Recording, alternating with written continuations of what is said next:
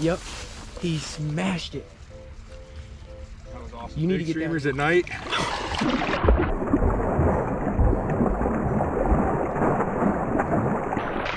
Dude.